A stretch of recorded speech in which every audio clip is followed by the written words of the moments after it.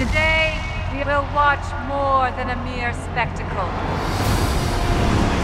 This is the end. Good luck, Katniss.